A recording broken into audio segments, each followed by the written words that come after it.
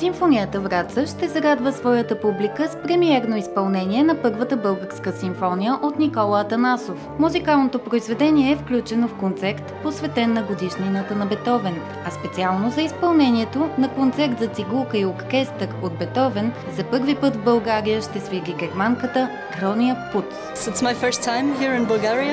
Това е моят първи път тук в България. Винаги съм любопитна да свира на различни места и с различни хора. И всъщност аз съм тук за да уча и да направя най-доброто от музиката на Бетовен. И съм с отворено съзнание към всичко, което идва. Германката започва да свири на цигулка едва на 4 години. Участвала е в престижни конкурси и е пътувала в различни европейски страни. Сега на концерти талантливата музикантка не заменя своята цигулка, с която е от 12 годишна. Има точно звука, който искам да има моята цигулка. Точно звукът, който да предаде послание на света.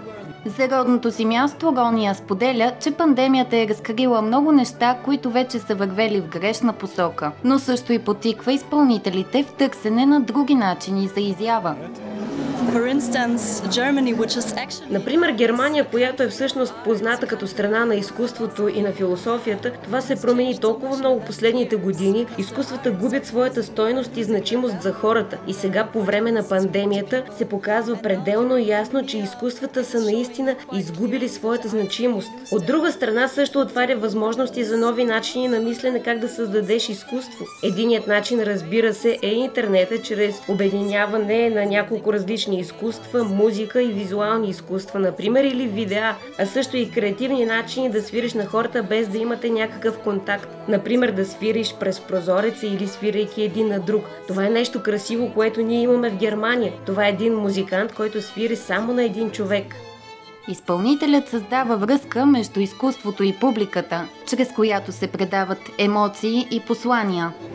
When I play music, когато свиря, аз нямам послания. Посланието е в музиката. И единственото нещо, което искам да предам на хората чрез музиката е отворете се. Бъдете отворени за всичките емоции, които идват чрез музиката.